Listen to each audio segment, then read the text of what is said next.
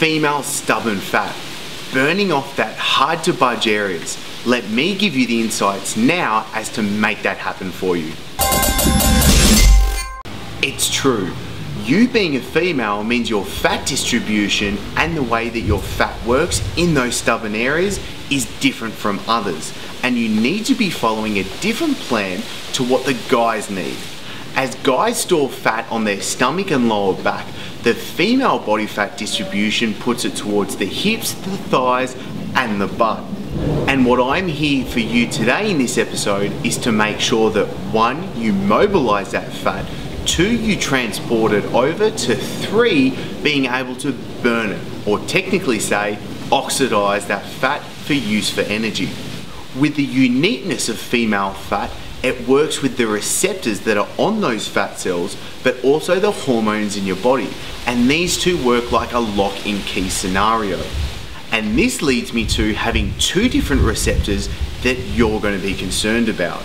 One, the beta receptors, and two, the alpha adrenoreceptors. And then we want to be able to use the catecholamines, the hormones that can activate these receptors and give you the fat burning that you want.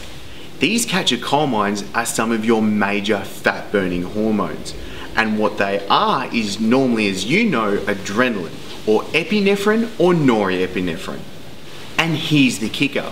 When you bond and activate those catecholamines to the beta receptors, you switch on fat burning. When you bind and activate to the alpha receptors, you decrease fat burning. And this relates so strongly to you being a woman and being able to burn that body fat off because the lower body has more alpha receptors, making it harder to burn that fat. And it's also important why you don't need to solely focus on your calorie intake and just reducing that, as it's the hormonal environment that's also going to give you great results, especially targeting these areas. And as well as your catecholamines, the hormones that are in play are your estrogen, progesterone, growth hormone, insulin, and leptin. And what I see so many women getting wrong so often is their training. Their training is all wrong. You can only be anabolic or catabolic at the one time. But what you want to be able to do is burn body fat and not burn muscle tissue.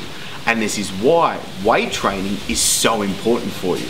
With a properly designed weight training program, you're going to be able to burn body fat and build shape, not losing that precious muscle that can keep your metabolism running and give you the look that you really want. The three big points that I want you to take away from this episode. Number one, lower your carb intake, especially when leading into your workouts. This is going to stop insulin from blunting the fat burning effect. Number two, eat more fibrous vegetables, your greens. These foods like cabbage, watercress, spinach, and broccoli are going to give you a fantastic amount of nutrients and also help clear away estrogen.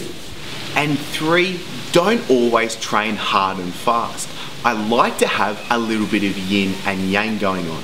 Some balance is crucial and is very important to making sure that you deal and cope with stress. If you want more of these tips and me keep giving you the plans that are proven to work, then hit subscribe now. I'm going to keep giving you the weekly updates that you can use to transform your body.